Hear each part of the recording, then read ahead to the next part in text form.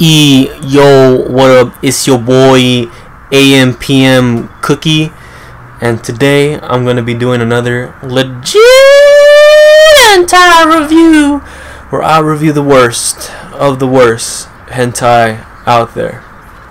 Now, the hentai I'm reviewing today is uh, through my eyes, seen as a classic.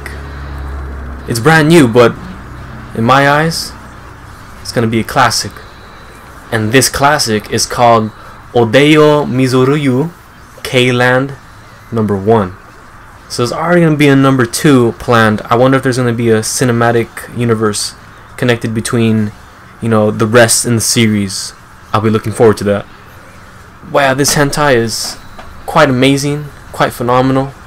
Uh, I've watched it, I'd say maybe about five times, and it's very exciting each time I watch it and I always find hidden messages within the video's context, if that makes any sense. So let me go ahead and start this. Eh, can't speak. Let me go ahead and start this review by uh, starting off by describing the plot. So, what this hentai is about, or let me just explain the premise first.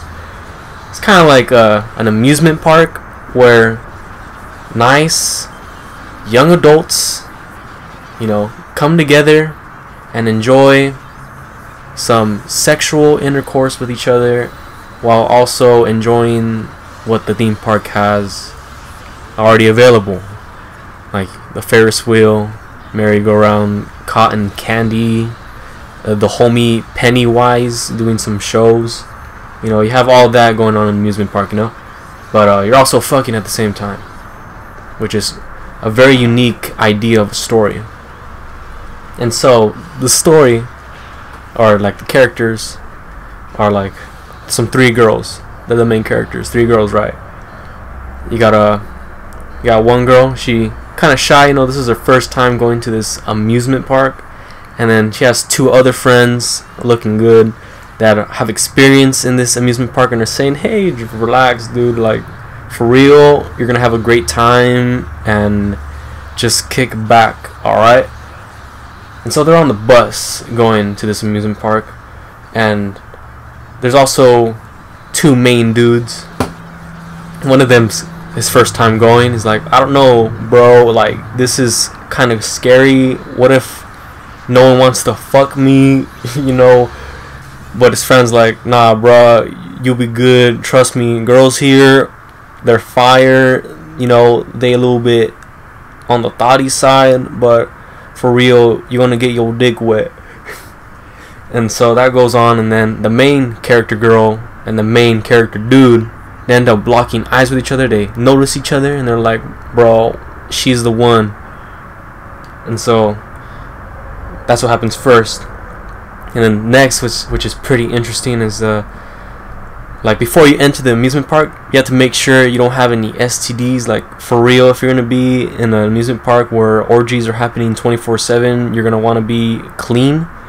So, yeah, the girls, what they do is they put like a vacuum cleaner up their uh, vagina, and it kind of like sucks the the bacteria. I'm guessing, and while the girls are getting their vacuumed, yeah, they're vagina vacuum. Uh, one of them's all like, "Hey, this feels pretty good," and she's like, "Ah, ah, ah," you know, doing the hentai mode. And yeah, they seem to enjoy it. Now, when the males get their uh, STD check, they have a a female worker, half naked, and I don't. This is the part that confuses me. I don't know what they're trying to trying to do but uh, they perform some witchcraft on this part. It's like the girl has like a condom, the female worker, yeah. She has like a condom and she puts it on the the homie, and it's like pink, right? And then for some reason it just turns invisible. I don't get it, but um, I guess that's the future. Uh, invisible condoms, fascinating. And so that's their STD check, I guess. And then uh, the female worker's like, "Hey, you know, this is your first time here you, you want me to want me to suck your cock? And the guy's like, oh no, no, it's alright, because you know he's a pussy. So yeah, that's the kind of like beginning, the the beginning part, and then after you know shit goes down, it's an amusement park. People are having fun. Oh, also I want to mention the consent stickers that people put on each other. Like let's say me, Oscar the Sage, wants to go to this amu- amusement park, and uh, I have like they give you this sticker. It's like if you put like a blue sticker on, it means uh, you don't mind being touched, like for real, like you know, touch my hand, touch my feet, touch my nose. You know, you can touch anything you want. Uh, if you put like a green sticker, it means yo, kiss me, let's smooch, let's cuddle. What's up? And then have like a pink sticker, means alright, bro, let's go all the way. So I, f- I think that's a unique construct, a very uh, complex uh, battle system that they implemented into the show, and I think it's very revolutionary.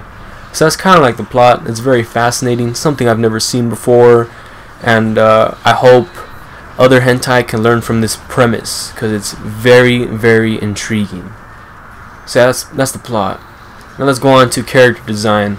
Now we got the main character. She has pink hair, green eyes, big titties, and she's looking fire. She's thick, looking good.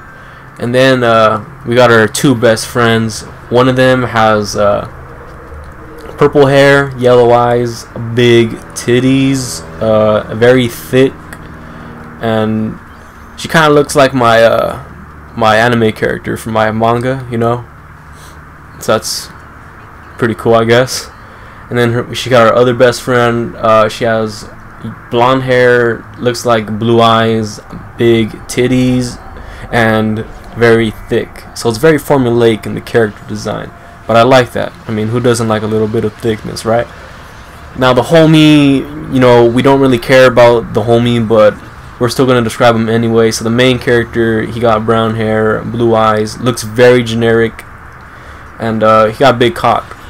Yeah, and his friend, he has uh like brown brown blonde hair. That fool is wild. Yo, he got big cock too. Know, yo, I ain't gay.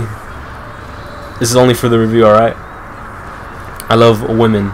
So that's character design, very formulaic, but uh, it all works out in the end, so it's all good. So yeah, that's character design. Let's go ahead and go on to sound effects. Sound effects are very realistic. They actually went out of their way to actually record these sounds. It looks like they went into the sound booth and like actually performed the intercourse. It's very realistic. You can hear every every you know you can hear all that and so i have to give a shout out to the sound department. Yeah the sound department uh, they did a very good job. Uh, voice acting you know i'm learning japanese through duolingo. It's an app on my phone. Yo i'm sponsored by them so like download their app through my download link so you can give me some cash but uh, that's where I'm learning my Japanese for now until my textbook comes in. But uh, I can kind of hear what the what the hentai characters are saying. You know, like the girls are like ah! Ah! Yamete yamete yorichiro no. and then the homie's like ah! Ah! Ah! Ah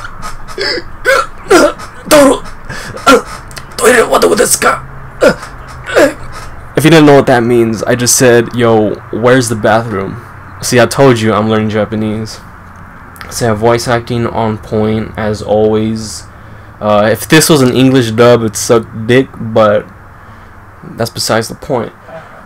So what's next? Voice acting, uh, I guess animation, everything flows smoothly, very high budget. Looks like uh, Steven Spielberg produced it you know, I can kind of tell through the influences, but yeah. Um, I also like to do a new segment. It's called uh, live reaction. Uh, you won't be able to see it because I'm not good at editing. But even if I was good at editing and can show you the you know the hentai itself, I'd get uh, age restricted or my video would get taken down or I'd probably get a strike. So you're just gonna have to listen or actually search it up, the video itself, and you know see how it sounds.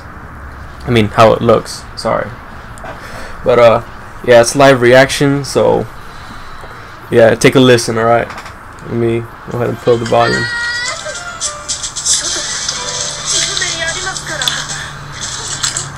See, as you can as you can hear, the sound effects they're on point. You know, the scene going on right now is when uh, the female worker's like, all right, let's see if you have STDs, bro.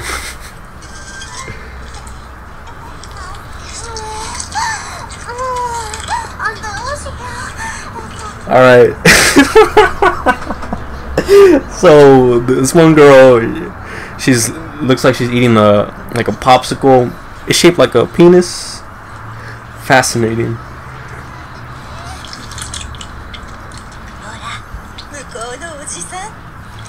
Uh, as you can hear, the lady who's speaking right now, she sounds like 40. She a MILF. And that's pretty good. This beats fire, dude. Alright, that's enough, but uh, you get you get the idea, right? You know, live reaction, you know, give me money. Anyway, rewatch value, uh, I mean, I watched it five times. Uh, I think it's alright. You know, it's pretty good. Um, you probably enjoy it. I know I did. I'm hoping there's a part two soon because it left off on a big cliffhanger. Because uh, you know, spoiler alert, but uh, the homie was like really digging the girl. He's like, "Yo, after this, let's meet up together. Let's go eat at a Red Lobster. Um, maybe we can catch a movie. Let's watch uh, Spider-Man: Homecoming, and yeah, you know, let's get together." But the girl's like, "Nah, bro. I only came to this place to have sex. I ain't looking for a relationship. Sorry, bruh. I'm out." And so it just left off on a big cliffhanger like that. So it kept me wanting more. Yeah. So that's the review. Um, I don't know. Tell me what you think about it if you've seen it, and if you haven't seen it, uh, watch it, and uh, comment back saying, "Yo, I watched it. It was shitty. Why'd you even watch it yourself?" I don't know why I watched it. It's because I'm a lonely man. and don't have a a female to talk to. That could be it. Honestly, I have no idea.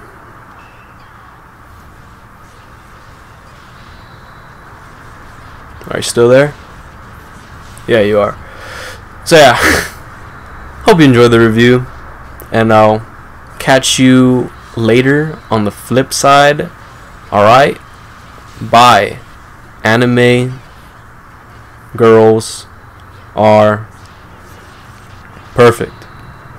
Have a great day.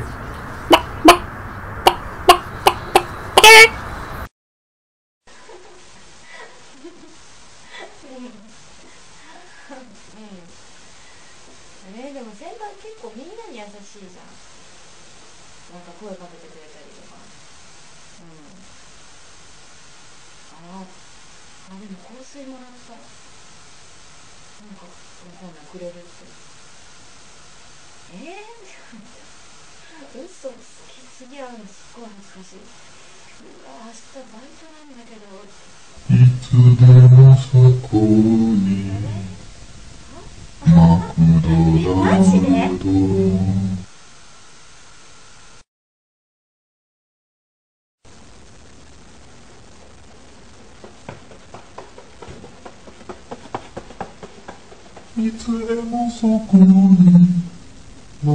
tout nom de ton